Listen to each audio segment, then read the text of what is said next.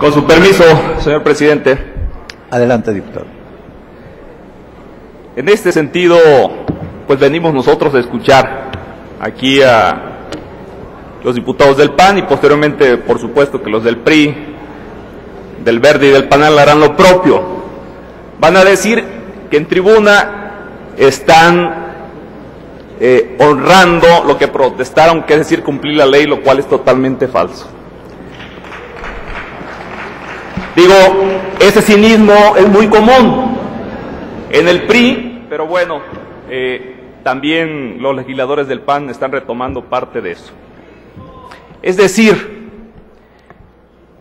no se le ocurrió cuando se aprobó a los diputados eh, ponerse artículo segundo transitorio en el artículo 71, no fue algo ocioso, era que debería de cumplirse, es decir, hacerse la ley reglamentaria de tal artículo en ese tramo de un año. ¿Y por qué de un año?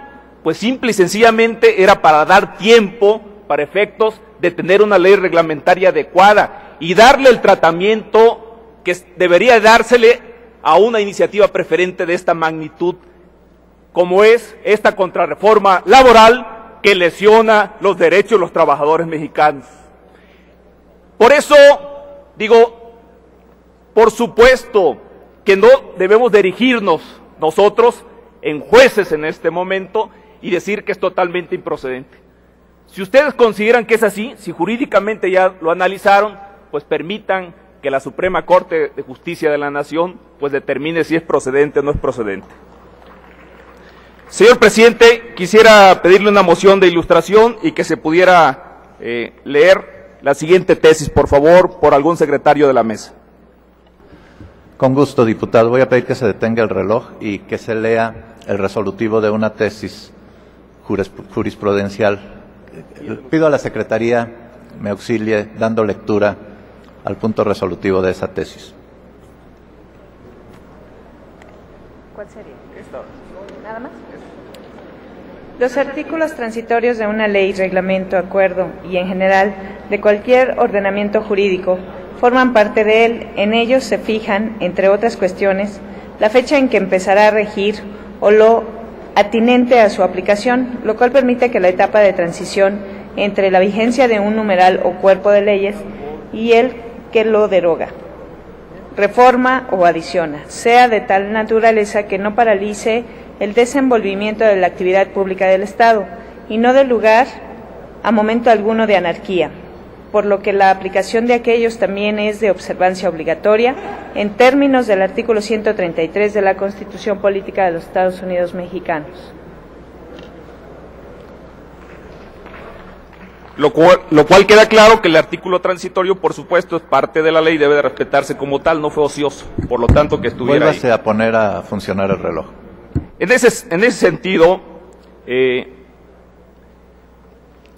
se pretendió subsanar con el acuerdo de la Junta de Coordinación Política, que hay que plantearlo con claridad. Tal acuerdo nunca fue sometido al Pleno, por lo tanto está viciado de ilegalidad. Y ese acuerdo, una tesis de la propia eh, Corte, señala que ningún acuerdo puede estar encima de la ley. Por lo tanto, nosotros sostenemos que todo el proceso fue viciado y es anticonstitucional. Por eso la Corte sí debe de conocer precisamente esta controversia.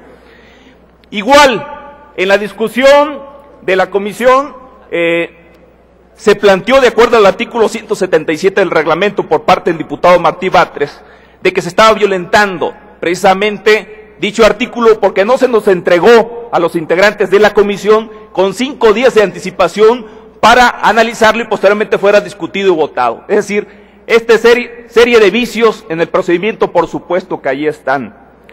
Y bueno, voy a nuevamente a solicitar eh, eh, de ese mismo artículo, el 114, otra moción de ilustración derivado de eh, un oficio que hace el director general de asuntos jurídicos. Por favor, señor presidente, solicito que se lea la conclusión del artículo quinto, por favor. Le voy a dar la cortesía, pero su tiempo ya se agotó, diputado. Inmediatamente después le pediré que concluya su intervención.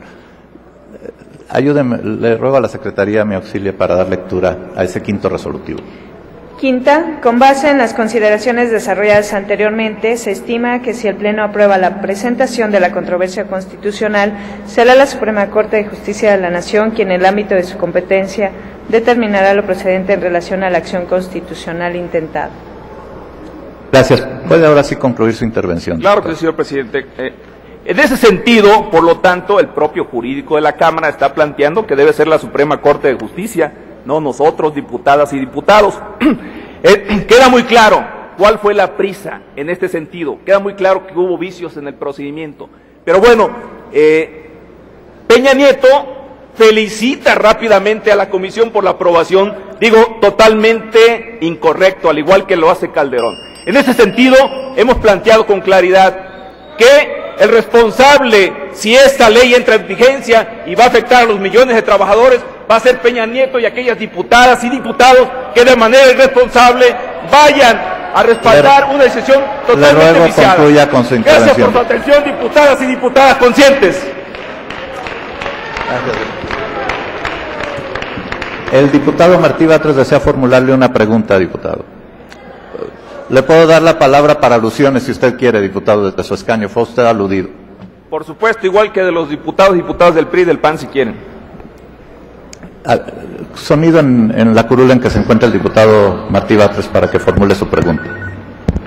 Sí, es un- eh, sobre la base del artículo 114, quiero hacer dos mociones, una para solicitar la palabra por alusiones y para hacer una pregunta al orador. La pregunta es la siguiente. Quiero preguntarle al orador si en el artículo segundo transitorio se dice, en el artículo segundo transitorio de la reforma del 71 constitucional, se dice que la iniciativa preferente del Ejecutivo Federal no está sujeta a la reglamentación de la que ahí se habla, porque este segundo transitorio dice que debe haber una legislación para hacer cumplir lo dispuesto en el presente decreto. ¿Se dice acaso en este segundo artículo transitorio que la iniciativa preferente del Ejecutivo Federal queda eximida de esta reglamentación de la que se habla en este decreto? Por supuesto que eso no dice el artículo segundo transitorio no queda eximida y estamos obligados a respetar la ley, diputados y diputadas. Digo, eh, Gracias. a- ante la nación sabemos efectivamente eh, esta eh, controversia constitucional, si efectivamente no le tienen temor las diputadas y diputados del PRI y del PAN, y, y si son muy legalistas y si realmente respetan eh, la ley, pues voten a favor de que se promueva la controversia constitucional. Gracias. Gracias, diputado. Para responder a alusiones personales tiene el uso de la tribuna el diputado Martí Batres por tres minutos.